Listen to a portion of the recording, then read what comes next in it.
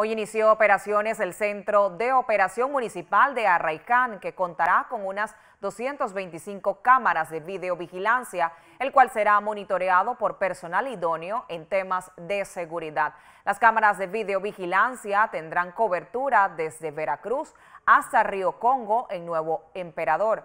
El control de vigilancia contará con tecnologías abiertas de última generación que permitirá reconocimiento de placas vehiculares, el sistema estará enlazado con todos los estamentos de seguridad del país.